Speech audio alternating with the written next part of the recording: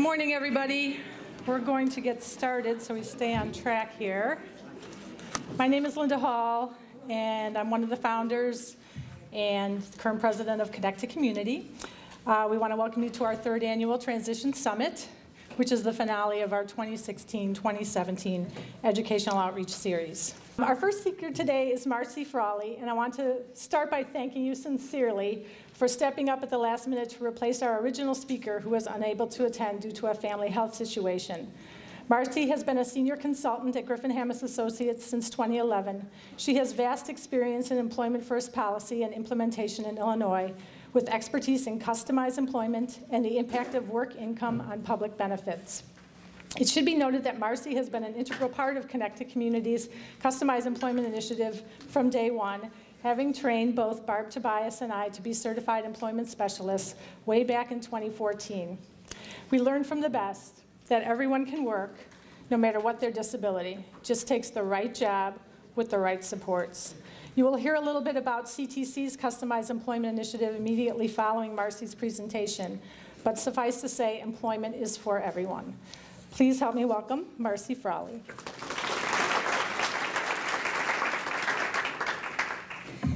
Thank you, Linda, and thank you, everyone, um, for having me here today. It's a, a, real pleasure to see such a fantastic group. You heard a little bit of an introduction of me. May I um, find out about you all a little bit? Um, I'm wondering if, if folks who are parents and family members would raise their hands so I Wonderful, amazing. How about folks from the school district? Excellent. Saturday morning, and here you are. Okay, great. Well, um, I'm going to ask one other question because I I gave you too much paper for my presentation, so I'll probably be skipping some of the slides. Um, there we go.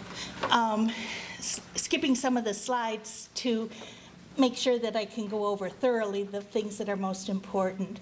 How many people are attached to the Social Security public system, public um, cash and health care?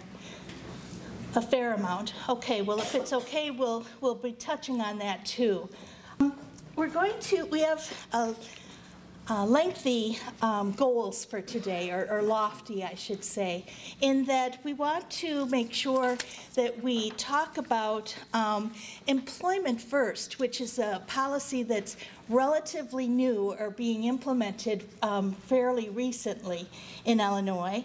Um, with the use of the employment strategy called customized employment that Connect to Community is using. Um, we're going to be talking about discovering personal genius, which is a function of customized employment through Griffin Hammis Associates, and how we can incorporate that into our school transition process. How can we put um, portions of customized employment into our school planning without burdening anyone. It, it can be a rather natural process, but we'll talk about that throughout the presentation. And then lastly, um, Linda said that we definitely go on the premise that everyone can work. What their work is um, chooses to be depends on ideal conditions for employment. It, um, it's based on interests and skills and abilities. But sometimes folks um, choose not to work because they're afraid of how it's going to negatively impact health um, insurance through Medicaid or Medicare or the cash benefits. And I want to give you some a few work incentives to show you that not only can people work, but they should work to their fullest capacity because there are work incentives in place that are going to help, um, excuse me, maintain those very important uh, work, in, uh, work incentives. So um, has anyone heard of Employment First? A little bit?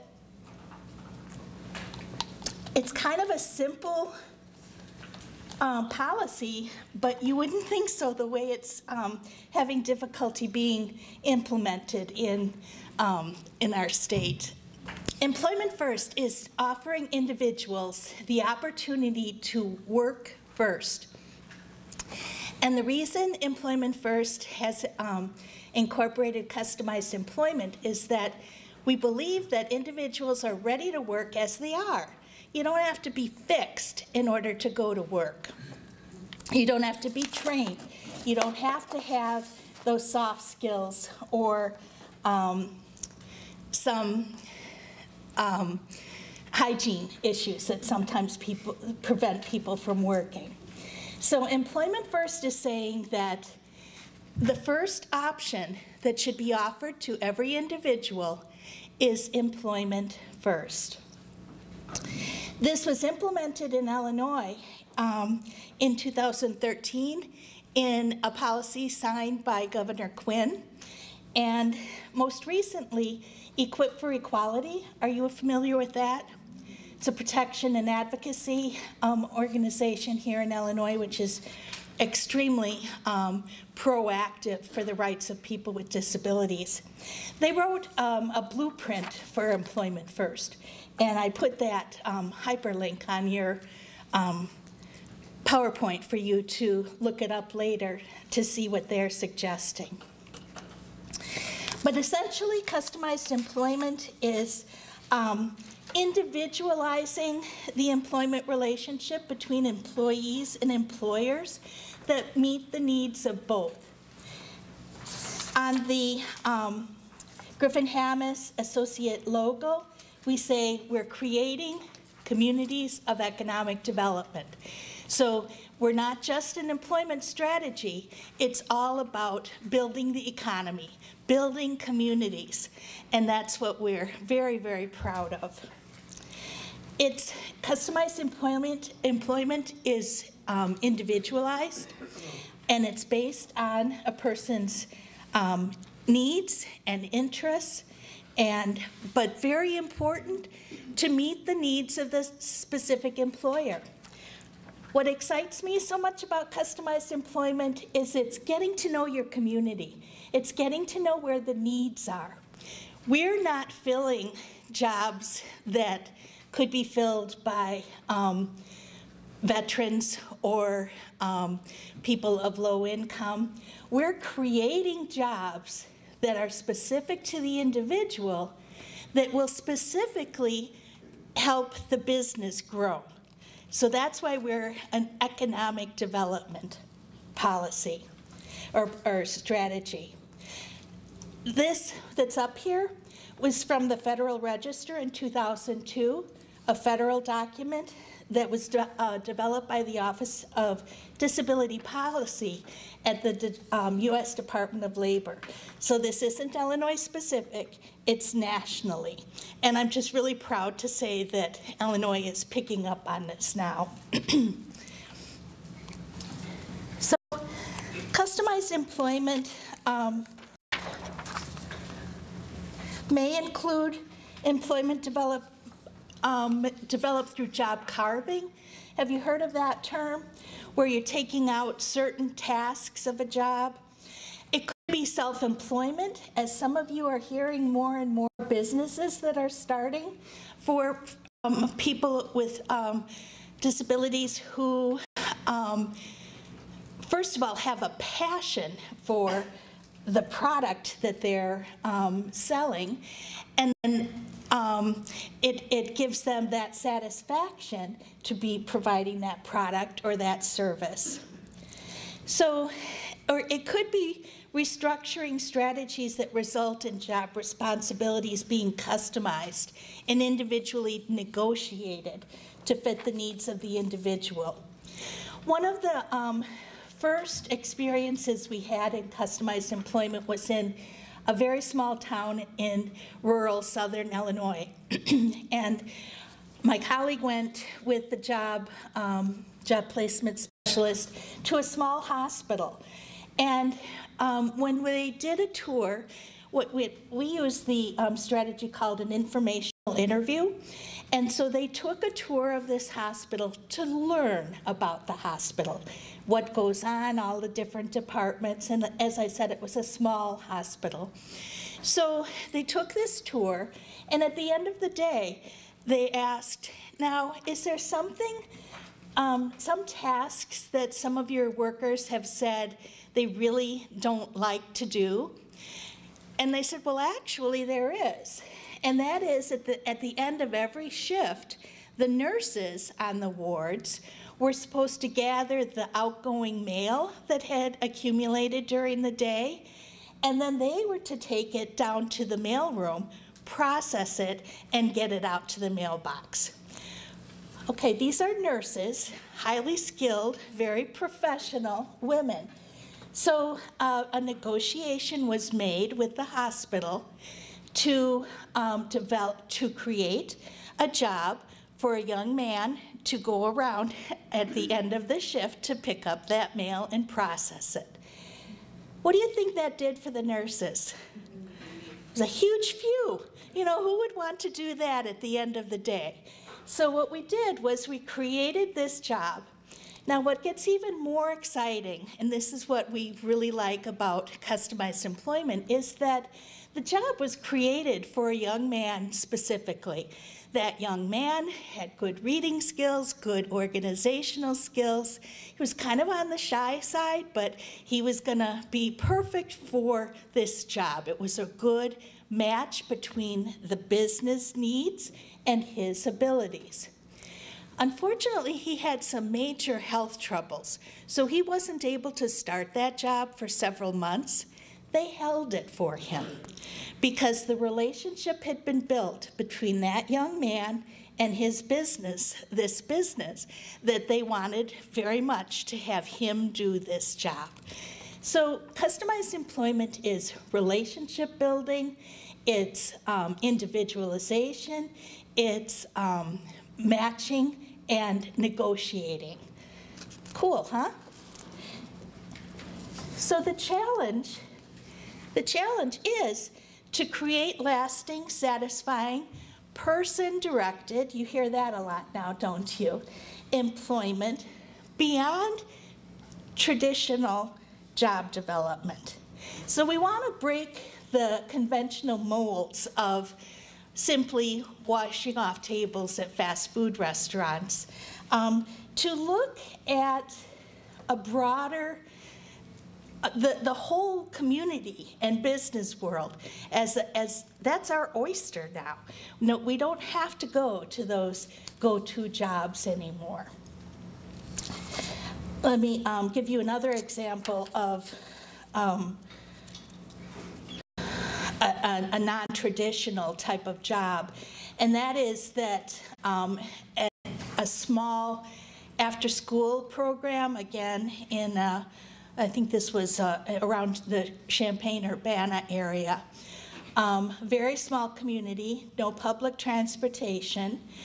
Um, so looking for um, businesses that might have needs that were within reasonable transportation ability for the person. A job was developed for um, this young woman in an after-school program. Now, um, she's a, when we do customized employment, I'm going to be talking about the process, but the process um, looks at ideal conditions for employment. We're not going after a job per se. We frequently are looking at themes.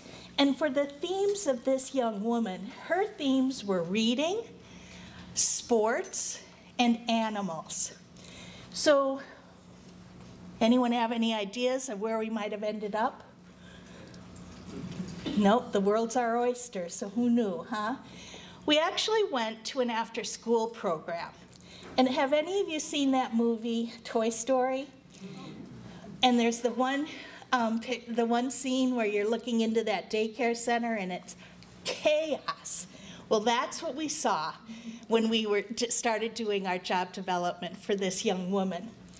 Now, the reason we went, why, why did we go to an after school program with themes of sports and reading and, and animals?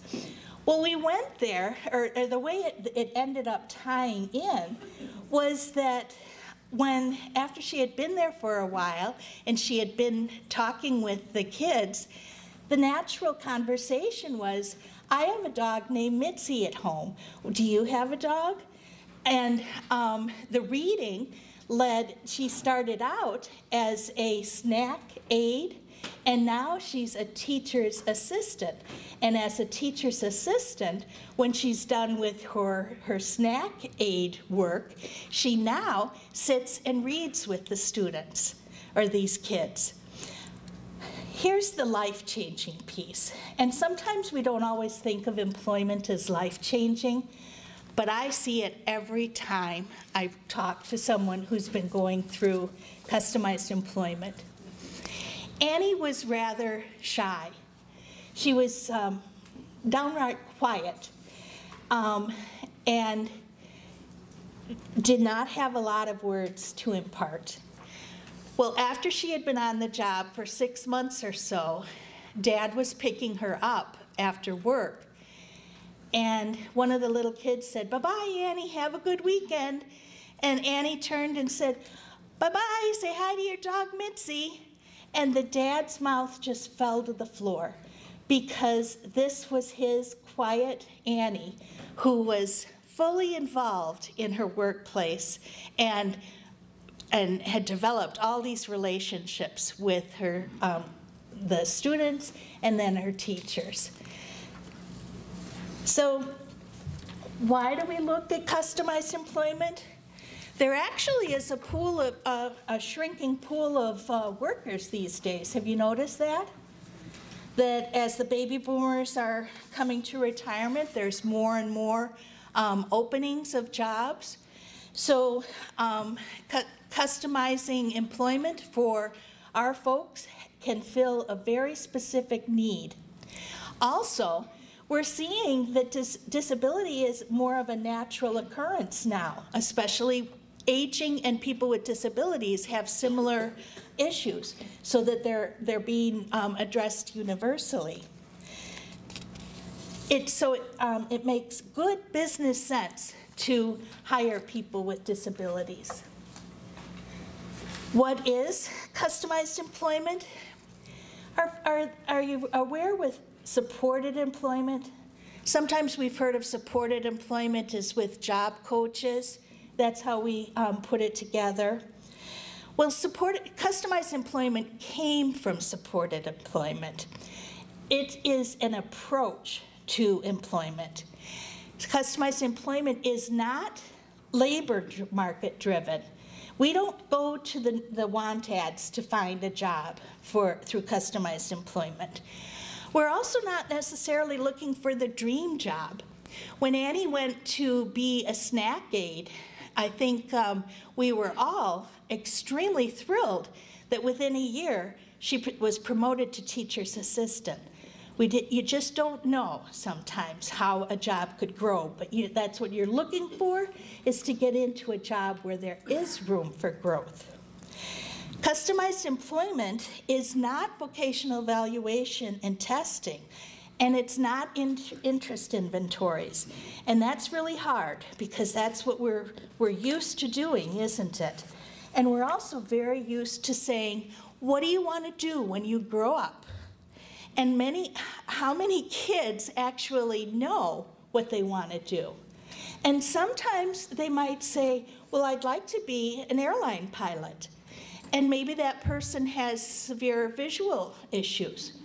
So we don't just, we, we want to use those I want to statements and explore the theme around it. I was really excited for one of my, um, actually, it was my boss, Cary Griffin, who worked with a person with the theme of aviation. He liked planes, he liked um, things that fly. So they went to a, a, local airport and talked with a helicopter um, company, and that they were able to discern some jobs for this young man to do around helicopters. Um, so, so even though a, a dream job might be a pilot, the, the fact is the person just really wanted to be around those types of machines. Another person I worked with um, had been a phlebotomist. um, before he had several traumatic brain inj- injuries. Needless to say, um, the seizures that he was experiencing and memory issues, his drawing blood wasn't going to be an, a possibility when he became um, more stable. What it ended up, he and he was dead set on going back to being a phlebotomist. What it ended up was he really wanted to wear the white jacket. He wanted to feel that he was part of the medical field.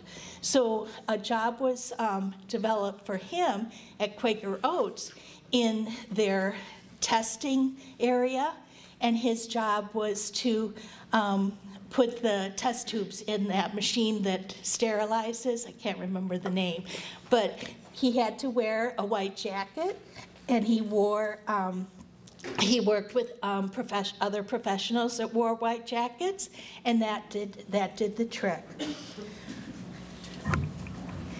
So the evolution of customized employment came with um, that horrible beginning of institutionalization. And of course, there was never any thought of employment. We moved toward sheltered employment, where people were employed at sub minimum wages in group settings. And we, you're probably aware now that that is not an option for students to be transitioning to anymore. Then we moved to job placement, but that was pretty much perceived to be for the most capable and um, placed in regular jobs. So supported employment, especially those with um, most significant disabilities, are placed in community jobs with support, and it's all about getting ready to work. Um, customized employment is that you're ready as you are. And another, uh, an example of that is a young man who was um, considered a good producer. He could do repetitive manufacturing type jobs, but his hygiene habits were pretty horrible. Um, uh, I think you can imagine. So, um, would we want to put him in a dining room setting with bad hygiene? No. Would we want to put him possibly in a manufacturing setting where, where cleanliness wasn't a, um, a, a, an ideal condition of employment? Right. Because some factory jobs, it doesn't make a big deal if, the, if hygiene isn't perfect. So that's where we start looking at ideal conditions of employment. We're looking at um, people who are, are places that meet the conditions of the individual. I'm going to introduce you to Devora right now. Um, Devora did not go through employment in high school but her teacher um, went through customized employment after Devora graduated, and she said, now, this is what I could have implemented with Devora and what I will consider implementing in the, in the coming years. Devora um, lives with significant barriers to employment, significant medical issues, but we looked at, or her mom looked at, when is she happiest? Well, she's happiest when there's people around. She's happiest when there's music playing. She's when she's happy, she shows that she's happy by moving her arms. So mom brilliantly put together these baby mittens with different textures at the end of those mittens, dipped them in paint, gave her a frame and she would paint different colors on the outside of frames. So this took her ideal conditions of employment, her abilities, and her interests, and formed a business. Pretty cool, huh? And um, one of the things that just gives me a pit in my stomach is that there may be times uh, and I hope it doesn't happen, but there may be times that you hear a family member's unemployable. And there are, are, are no worse words ever. And that's why we want to tell you about customized employment because there is work for everyone in customized employment. And um, Devorah's mother was um, a particularly, and continues to be, a particularly strong um, advocate for her, her daughter, and she will not accept unemployable. So she's um, has received services from the Social Security Administration through the Plan for Achieving Self-Support. She has received some services through the Division of Rehab Services.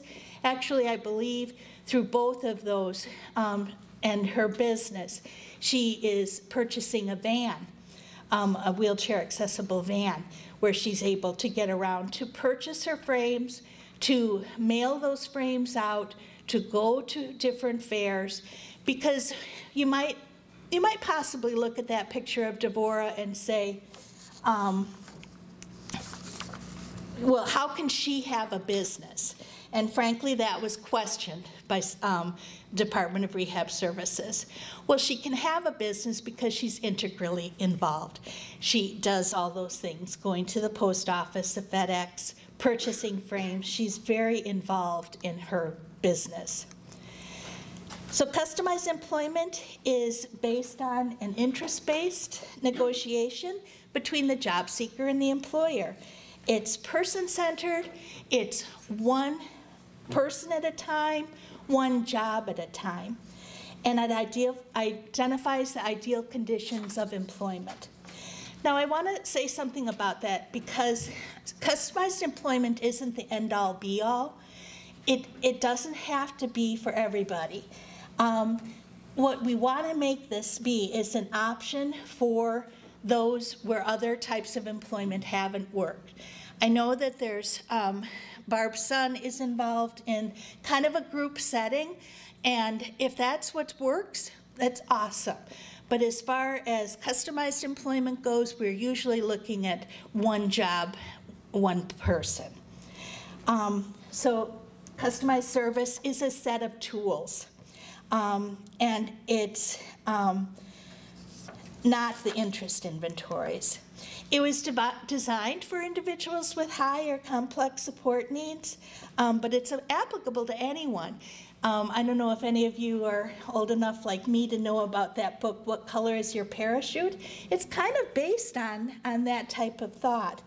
Um, it circumvents going to human resource departments.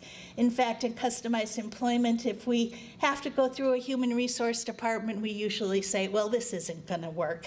Because when we get into bureaucracies, um, there's always excuses. And that's not the type of work environment we want our folks to be working in. We want to be work developing business relationships with natural relationships, supports, and training so that um, when Annie learned her job, she um, was started out with um, a job placement specialist who had been through customized employment, who understood our strategy of systematic instruction. Systematic instruction is basically learning the way the person learns best and then teaching that way. With Annie, it worked out that we were able to do little index cards on a, a little plastic ring, and with um, pictures and some words, she was able to follow the um, step by steps that she needed to prepare for snacks um, at this after school program. But part of customized employment is having that paid person fade out as fast as possible because we want the relationship to be with the the manager and the coworkers and have it be natural. One of the best examples of that natural was remember how I said she started out kind of shy and she didn't talk much? Well, when she'd come into work, they'd say, Good morning, Annie. And she would either put her head down or grunt and they sat down with her and said, Annie, this isn't cutting it. You know, when we say good morning, we'd like a response back. So that was a very natural conversation. And I'll be darned if she didn't pick up and, and start greeting people that way.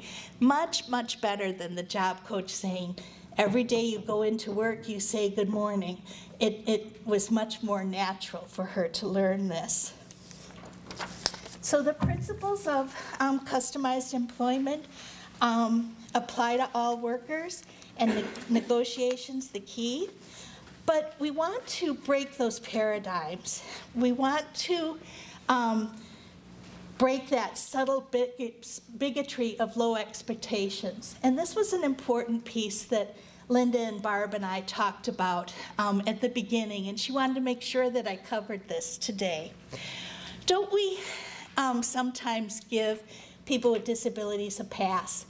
And we're not doing them any favors. It's important to lay a foundation of expectations right away. We want to make sure that we put a value on what they do so that we um, put productivity tied to pay. And that's how we look at the supply side of the business needs. Um, we want to make sure that we, that Americans with disabilities are viewed as economic assets.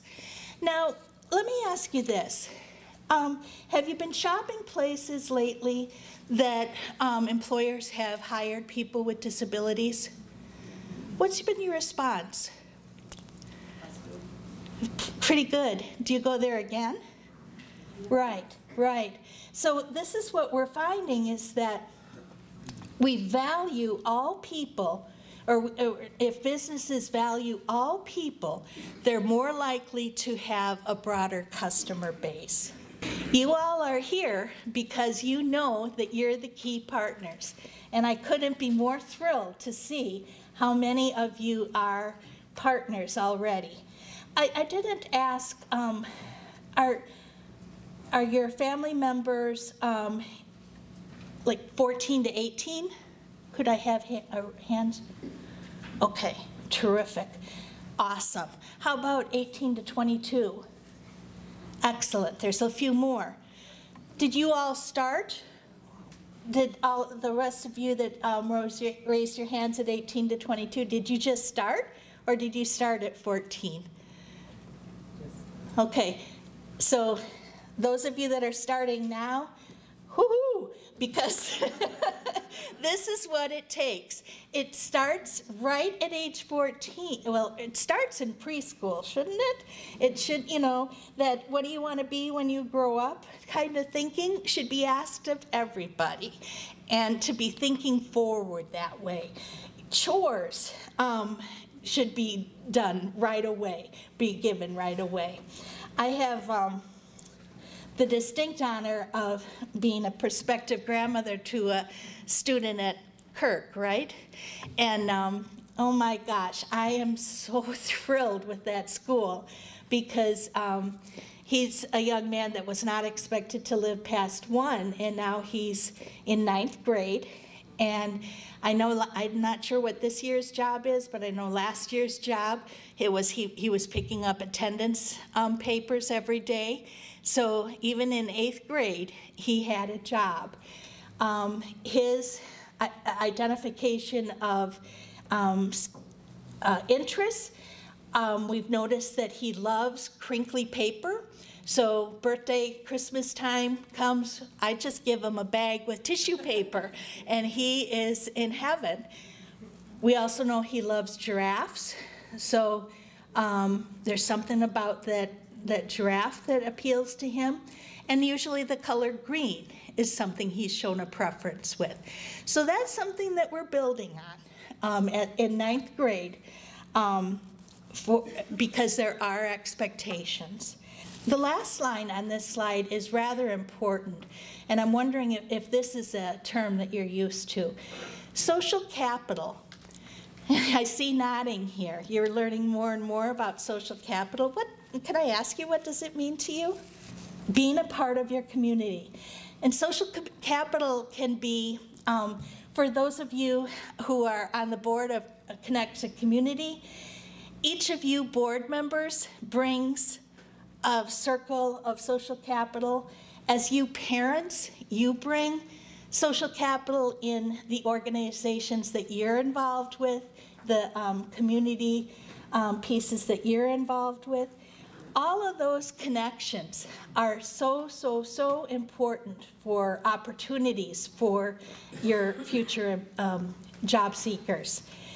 I just love the example of um, Barb and Will using their social capital to um, have a snack or breakfast or whatever at Einstein Bagels and finding out that they had a need there with what they were doing with the bagels at the end of the, their day and then building on that. That just started out of a conversation. Another friend of mine um, goes in and pays a bill every month or every quarter for um, parking her RV. So when she went in to pay that bill, she noticed that um, the office area wasn't quite as neat and clean as maybe they would have wanted. And she offered um, that her son could um, do some of those tasks in exchange for a gift card. So it was starting from that little bit of social capital gave him some work experience and broke the door into employment for him. Social capital um, is, is a very important piece in customized employment because it's who you know and who do they know, and it's getting introductions. Life begins with a vision and expectations, and it's we need to dream big dreams. We want to have to avoid an individual having to live someone else's program. So, social capital is to increase the employment of individuals with disabilities by encouraging the use of local contacts in relationships and business contacts. I couldn't laugh when I, I couldn't help but laugh when I saw this slide about qualified. Um, the job seeker fits the job versus quality and the job that fits the job seeker because I feel like um, nationally there have been some choices lately where it was um, the job seeker fits the job versus um, the job fitting the job seeker. Sorry, I shouldn't have gone there. But when I saw this slide, I thought, boy, what a perfect example. So not all jobs begin with qualifications. Most people, most businesses are going to tell you that they're looking for an individual that they can trust that they, that they know is going to be there every day. Do you know what one of the most expensive things about hiring individuals for businesses is? Training. It's, it's going through the hiring process and training. So if you can go to a business and say, this person will be here every day, will be on time, will um, produce what you need to do. Maybe not as fast as some of your others, but he'll be one of the most loyal employees that you'll have. Um, and, and he has this ability, these abilities. That's what employers want to hear. So um, if we only focus on qualifications, we may lose the potential contributions people could make. Another example of um, a lesson from a person with a disability um, teaching his coworkers was a fellow at Lowe's who had lost um, most of one of his arms. And um, he ended up showing his coworkers how to properly lift with the use of knees or um, his arms versus um, his back. And when he came on as an employee for Lowe's, they actually saw a decrease in their workers' comp claims because that coworker helped. And I think we're hearing those types of stories more and more all the time.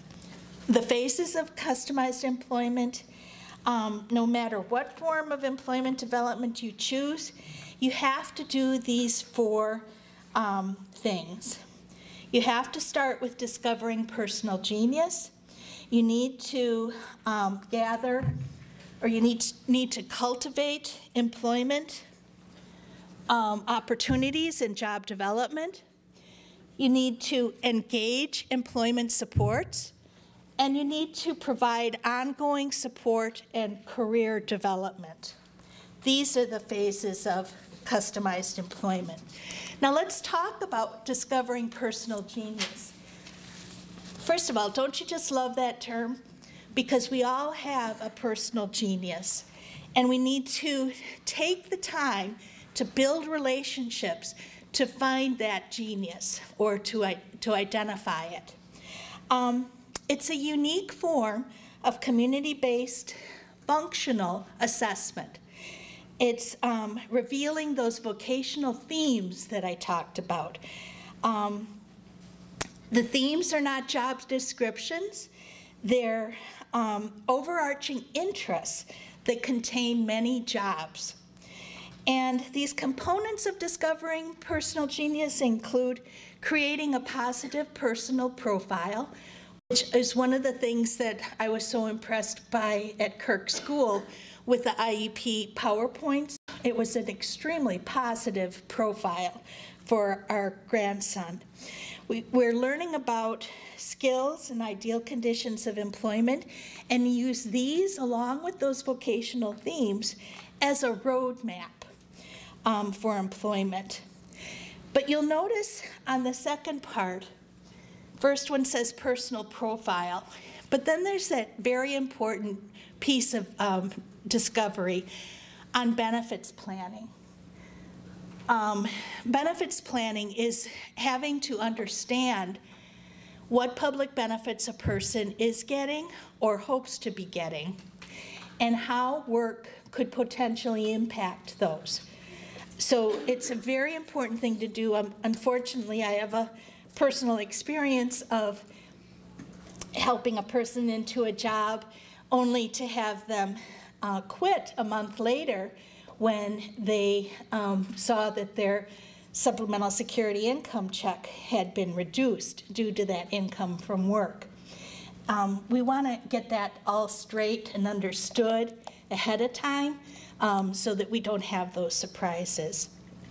Discovering personal genius um, includes that plan, in, discovering personal genius includes that planful approach to reveal life's themes that present a path of discovery that um, begs that you look into it some more and create options.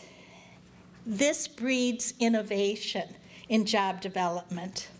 The reason I'm, um, I've done several slides now on um, assessment is because those of you that are in school have heard plenty of assessments, haven't you?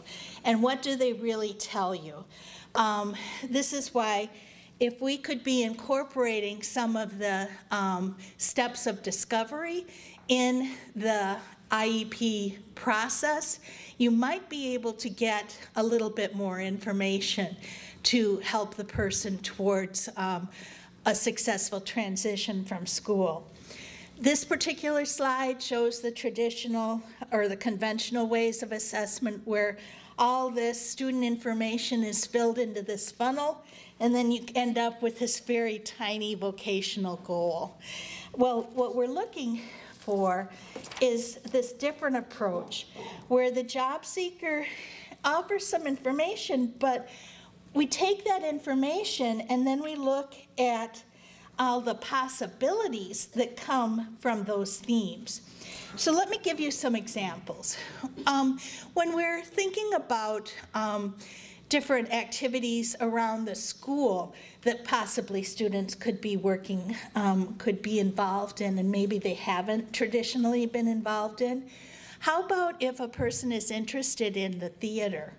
Um, if, if your schools are large enough and there is um, an opportunity to get into the theater department to um, get in the behind the scenes to do a discovery activity around that.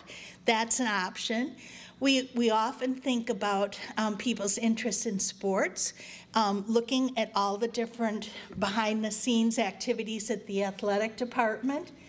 Um, public announcement. Um, that's another piece that's in school. It's looking around, I mean, discovery activities are frequently done out, outside of school, but I'm just thinking about ways that you could be researching and, and developing and doing discovery while the student is in school that doesn't take extra staff time to go places. The other thing is, is that when we do these discovery activities, we really want to do one staff member to one student because we want to really be keying in on when is that student happiest? When is that student the most engaged? So um, that's why we want to flip this funnel. And um, we're actually asking the question, who are you? Um, the, we're looking to learn as much as possible about the individual job um, seeker and then take that information to uncover limitless opportunities. The discovery assessment is all about when are you at your best?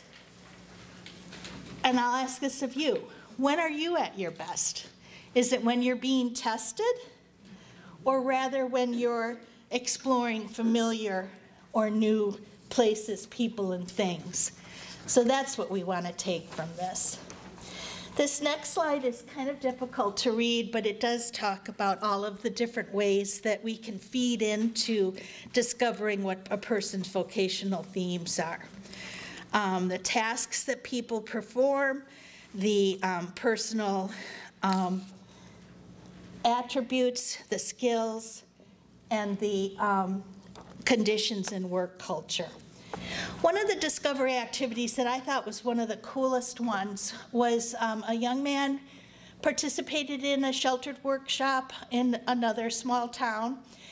And his, the executive director of that um, workshop invited this young man to go to a Kiwanis Club meeting with him. So this was a use of social, the executive director's social capital. They went to a meeting and the um, executive director was introducing him around to all different types of people. And um, as they were talking, um, they, they, they got, he got introduced to per, the, one of the owners of a large auto group. Now, this auto group, this was in 2008, and if you'll remember, in 2008, the auto industry was tanking. So that wouldn't be your usual um, employer to go to, but they hit it off, this fellow in the Kiwanis Club from the auto group and the young uh, man from the workshop. So the um, young man from the workshop said, hey, would you like to come see where I work? In his, in his own communication, he invited that fellow over to the workshop. And so um, they did go. And so after that visit, the auto group said, well, how about you come see where we work? So they, they went over to, over to the auto group.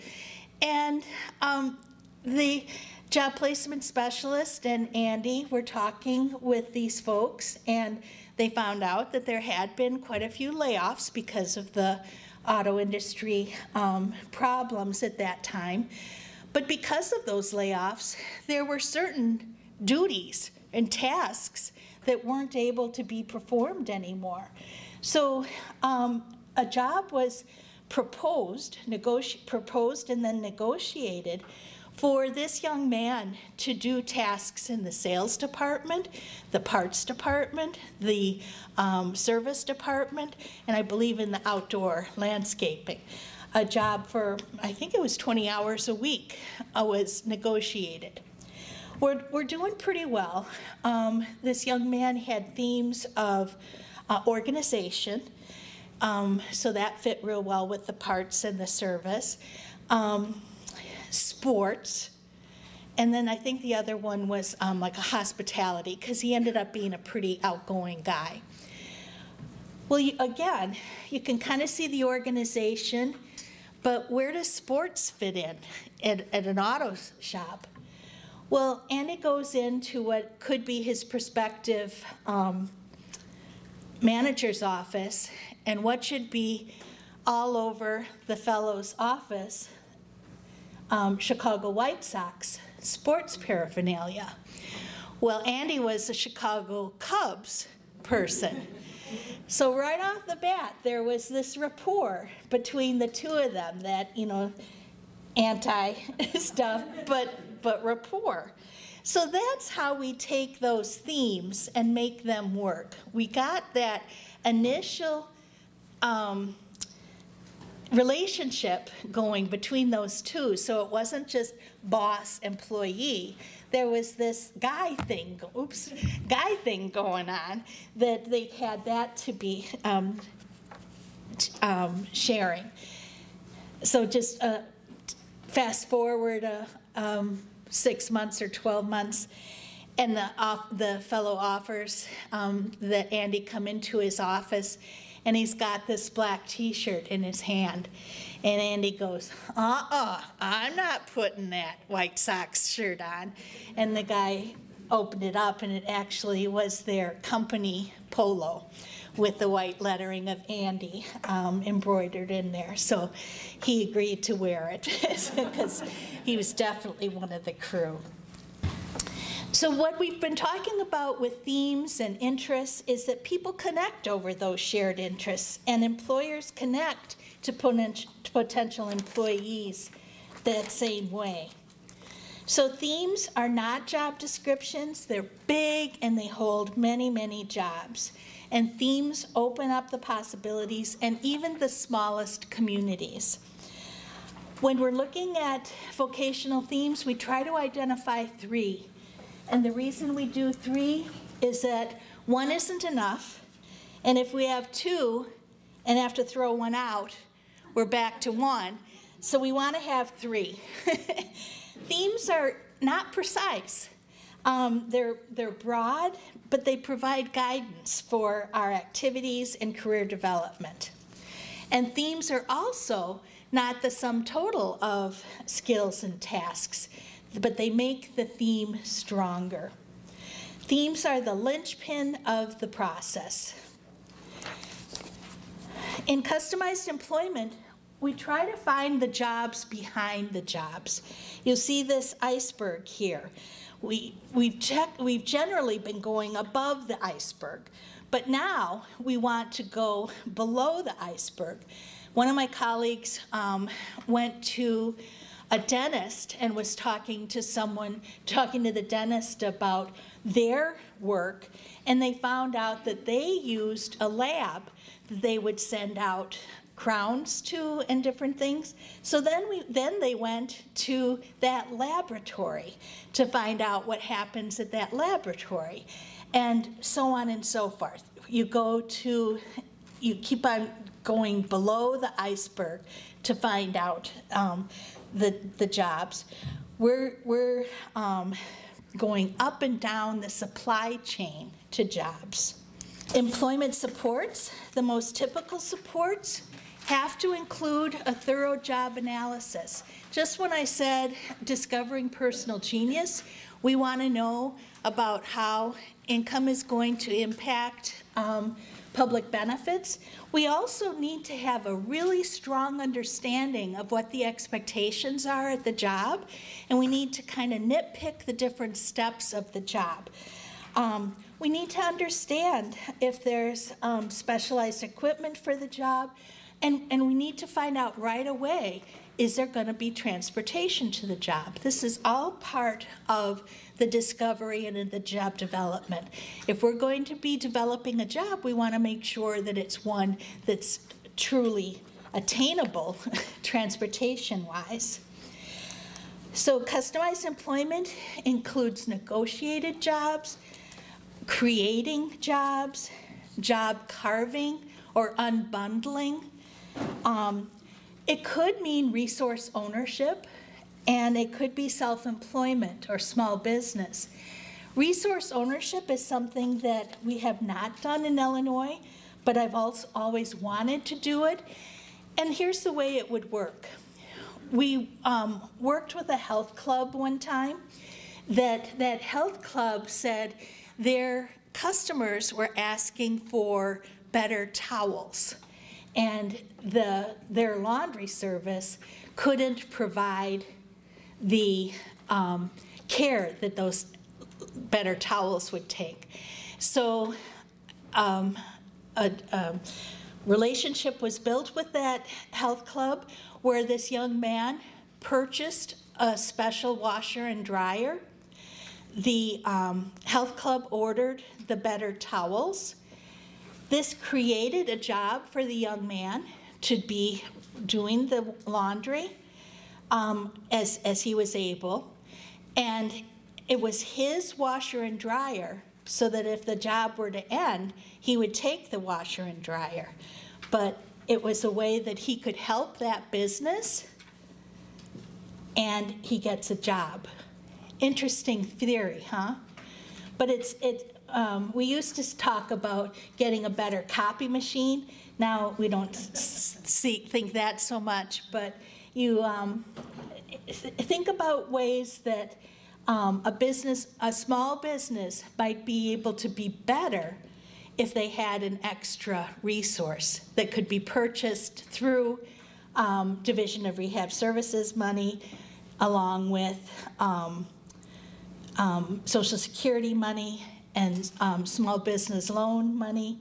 There's all different ways to make it happen where the person or a job is created through resource ownership. So customized employment job development avoids the market-driven approaches and it re relies on informational interviews, paid job trials. Um, we want to go where the career makes sense. We want to participate in employer councils and work on our social capital. And we need to remember that the task is not to find the dream job, but rather to find the ideal conditions of employment. What are some of your ideal conditions of employment? Mine is being able to meet folks like you. well, that's an ideal condition. Yes? A livable wage. A livable wage, yep. How about, does it make a difference if you're in well-lighted rooms? How about being able to play your own music? These are all um, ideal conditions of employment. So I'm going to introduce another young man to you. He's actually from Kansas, but I just wanted to kind of talk to you about per perceptions and um, how those perceptions can kind of deter us. Well, Joe, um, this is Joe, but in school, he was Joseph. And in, in school, he was combative, he was non communicative, he had a very, very, very low IQ. And so, right off the bat, his parents recognized that the labor market employment would not work for their Joseph. But Joe loves people. He loves being out of doors, he loves noise. So, dad got to thinking how about we, um, he purchased a kettle corn um, kettle. And he started a popcorn stand out of Walmart in their Kansas community. Well, from that little job trial, Joe now lives in his own home with his um, supports. His company has gross supports of or gross earnings over $75,000. Joe has many part-time workers working on his payroll. He's got a mail order business. He still goes to county fairs. But um, this fellow who was combative and not a very happy guy in school is living the life right now because he's out amongst people. He's, um, you can see he's a public speaker. Um, that's his dad running the PowerPoint with the uh, voice activated narration. Um, and here's another life changing piece about Joe was that Joe um, um, does not use words for communication. He obviously can show it through his actions. But one time, mom and dad were with him at a county fair, and um, Joe went out in the grassy area and said, Do you want to buy some popcorn?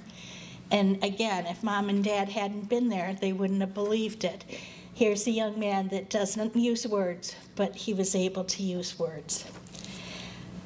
So, discovery consists of seeing what everyone has seen, but thinking what nobody has thought. I'm going to um, go through these next few slides because it's specifically about um, self employment, and I think we've talked about it a little bit. Um, I did want to leave this one slide up because it just goes to show there's a business for everything.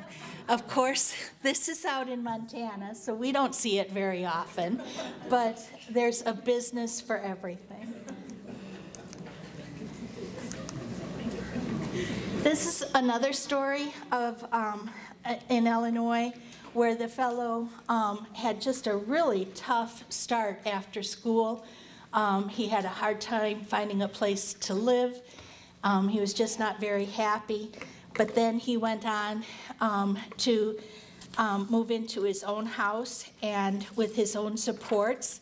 And his parents had this um, um, committee that helps to support him. And they got together and they thought about what makes Brian happiest. Well, what makes him happiest are quarters and the Cubs and the Bulls and fire departments. So when you think about quarters, where does that take you? Vending machines. So he also likes, um, I'm pretty sure he's our Pepsi guy. He likes Pepsi products. So he started a vending business um, that he started putting these uh, Pepsi machines at fire departments. And um, his business has now grown to more than 20 different businesses around his county. I will take a moment to talk about this um, slide that says, um, everyone needs a Wilson. Those of you that have seen the movie Castaway, um, Tom Hanks was reliant on that um, volleyball, Wilson, the Wilson volleyball, and, and we all need Wilson. And I think that's what I'd like to uh, make sure you all understand is that by your being here today, you're reaching out to your community, you're making um, connections, and that's what we want to do. It's, you've got a rich community full of resources, and you want to make sure that you're not doing it on your own, um, but that you can be um, reaching out to these different resources. When we think about businesses, we have to think about is the business going to be making money? We know that it can be answering a need for a passion, but we, we um, in the end, want to make sure that it's making money. So I've listed a couple pages of resources on self-employment um, for you to refer to. But let's go to the work incentive piece. We've got a, a half an hour, and um, I think that's just about enough time so I don't leave you glassy eyed um, with Social Security information. Working in benefits planning goes hand in hand. Um, we have to start out with that benefits planning in discovery. We want to know which public benefits are being received now, if they're, um, people might be on the DD waiver, maybe they're in the a CILA home, they could be getting DRS home support. We just need to know all of that information. But starting off, do you think these programs are easy to understand? Challenging to understand, but not rocket science? or rocket science. it can seem one of each of those at some time. Well, today I was kind of hoping to start some positive rumors. Um, and maybe some of this information is new to you, but I want to make sure you leave today knowing that students who are receiving supplemental security income can and should be earning up to 1,000 $790 a month, and they keep their whole SSI check. Did you know that? Woo-hoo. It's, these are for students, and I'm gonna be, I have a whole slide on this. But I just want to make sure that you know that there's this student earned income exclusion. How about, did you know that if a person is SSI eligible on Medicaid, they can work and earn up to $27,000 a year? They're not going to get their SSI check, but they'll still keep their Medicaid for free. Now, we're not talking huge money, but that's sure a heck of a lot more than that $775 or whatever the, $735 a month, right? So this is why we want to say work is good and we want people working. That's going to be the 1619B work incentive I have a slide on. And here's another question. If a person's earning 1,000, let's say they're earning $1,500 a month and they're not a student, how, if their person's on SSI, can they earn $1,500 and still be on SSI? Yes. Yes, yes, yes. So we're going to talk about this, the earned income exclusion. So it doesn't this sound encouraging? That work is good and life is better when people are working. So these are the positive rumors I want you guys to go away with. Did you know? It's true. So let's do some basics. The basics are that there are two disability cash programs for Social Security. And it's really, really important to understand which cash benefit program the person's receiving those benefits under. Because the work incentives differ for both. And if a person's on both programs, they, they're the lucky ones that get to follow all of the work incentives. So I want you to know that there's resources available from the Work Incentives Planning and Assistance Project to help you navigate these rules. Okay? There's help out there. So we know that a person on um, SSI has very strict income and resource limits. The resource limit is $2,000. And the month, the full federal benefit rate this year is $735. So we're not talking much at all. And that's why that we say a person is almost always, always better off working than um, not working. Social Security Disability Insurance is a different program altogether. It's based on a work record, either the individual or their parent. There aren't any income or asset limits. If Oprah or Bill Gates were be to become disabled, they could get a, a, Social Security disability cash benefit. There, the amount that is received under Social Security disability insurance depends on the person's work record. The, this um, childhood disability beneficiary is a specific um, classification for a person on Social Security disability insurance. And this is where if the individual's parent becomes of retirement age and starts collecting Social Security retirement, their child might be eligible for a, a, disability benefit on their off the parent's record. If one of the parents becomes disabled and gets um, Social Security disability insurance, the child could get a benefit or if one of their parents passes away, that child um, or an adult child could get a disability benefit. The thing about this that is so important is that when that individual with a disability becomes eligible off of their parent's record, 24 months later, they become eligible for Medicare which is the federal group health insurance. So um, 24 months after being determined, they could get Medicare, and if they're already getting Medicaid, they continue getting Medicaid. So that's two different um, paths towards insurance. Usually, um, parents love hearing about this particular slide because those of you that have your students working and earning while they're in school, before the age of 24, an individual only needs six work credits to become eligible for Social Security disability insurance on their own record.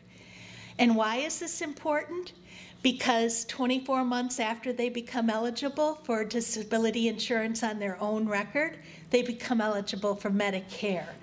And that Medicare and Medicaid together is really helpful for individuals. So we want to very much encourage anyone below the age of 24 in particular to be working and earning.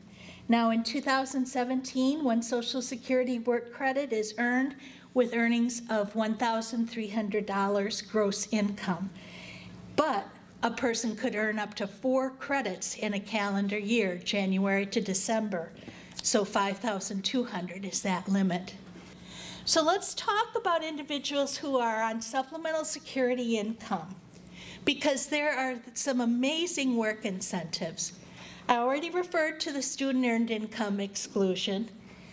There's a plan for achieving self-support.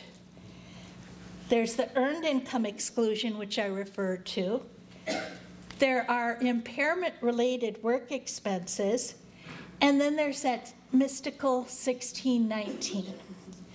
So the main thing to know when a person is working and receiving cash benefits, they have to report that income monthly to Social Security and the Department of Human Services.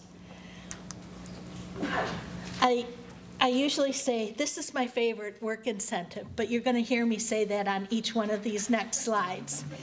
Because this student earned income exclusion shows how Social Security really wants their recipients to get work experience.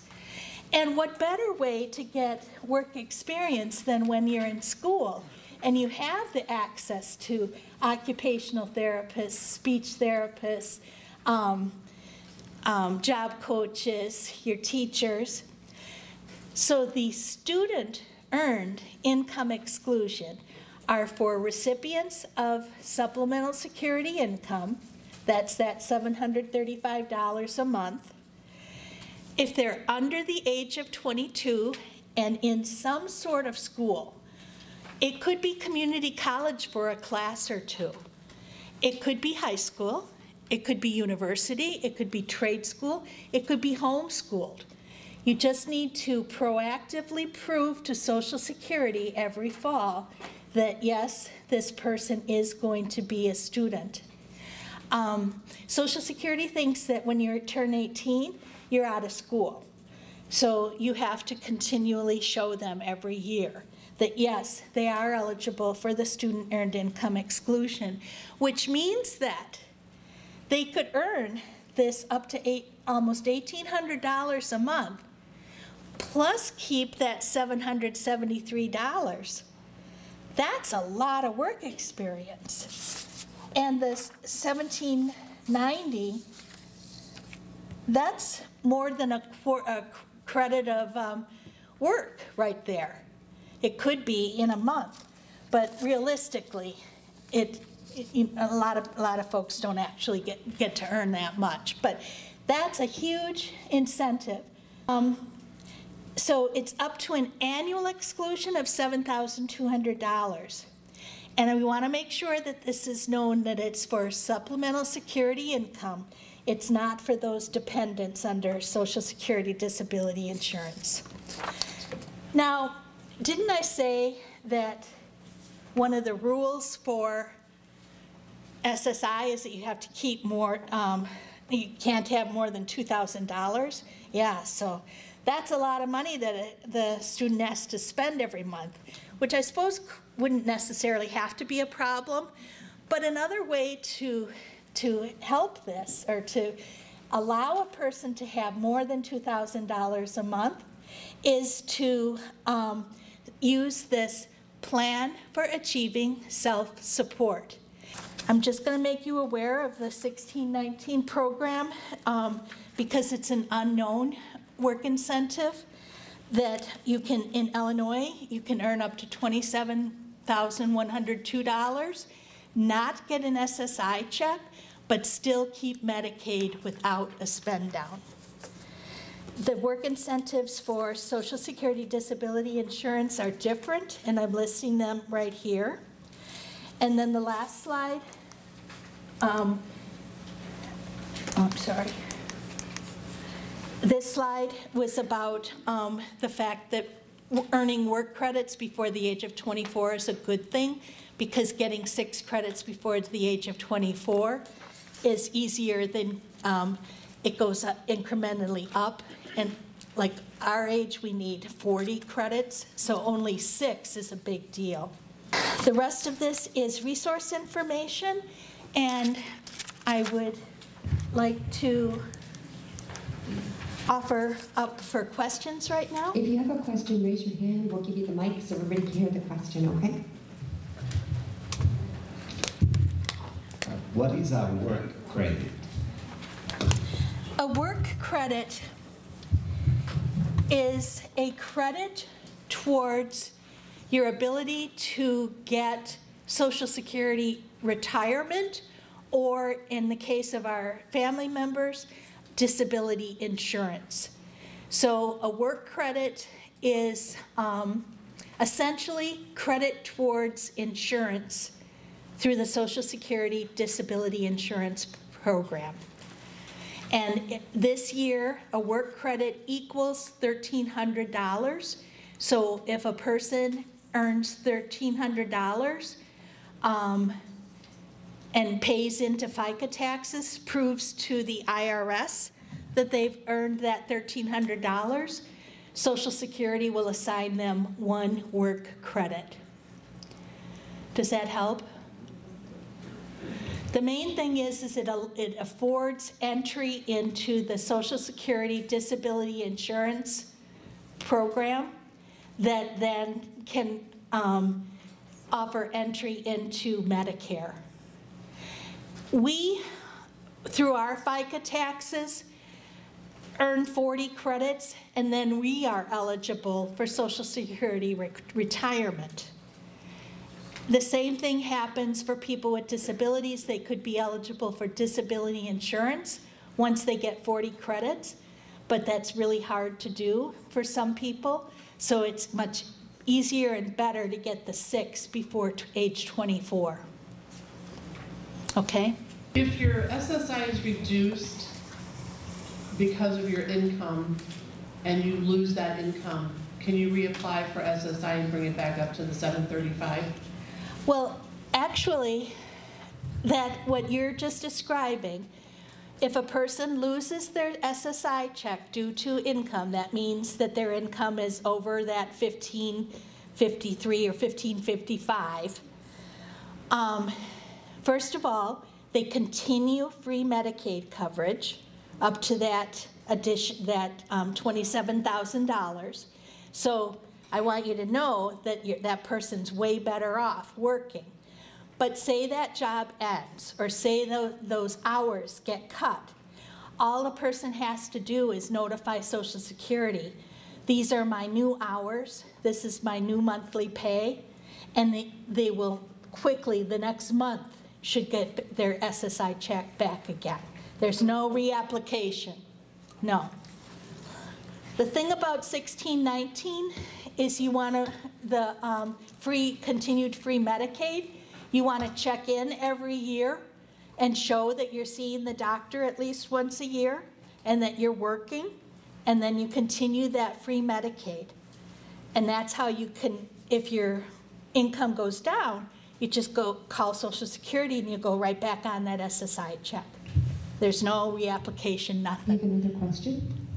Um, what if your child never received any benefits at all? Should you start asking? And she's never really been diagnosed with anything.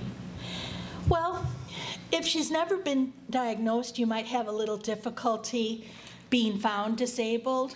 Um, the adult rules for meeting disability are very strict.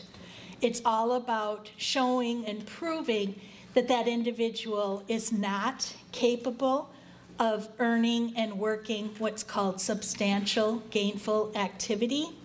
I believe I put that on the Social Security Disability Insurance um, slide that I skipped over. Um,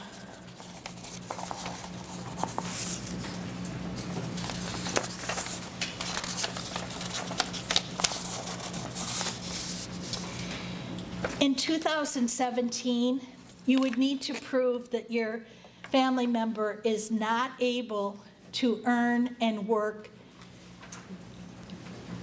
of um, up to $1,170 gross earnings a month.